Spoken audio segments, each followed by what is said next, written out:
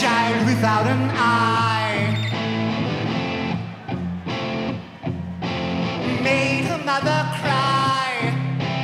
Why ask why? She kept her child clean on Buckingham Green. The children saw the eye